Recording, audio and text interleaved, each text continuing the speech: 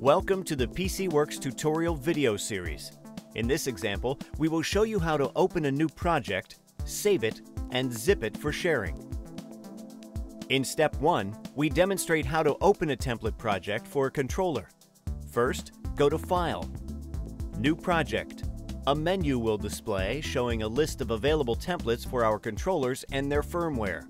If you have a controller available, select yours from the list. The firmware on your controller can be found on the controller itself, listed on the front faceplate. In step 2, we will show you how to save your project.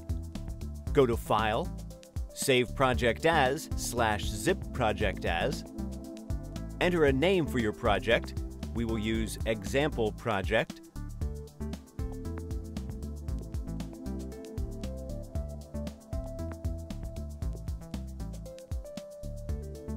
Your project has now been saved. In the next step, we will show you how to configure your project.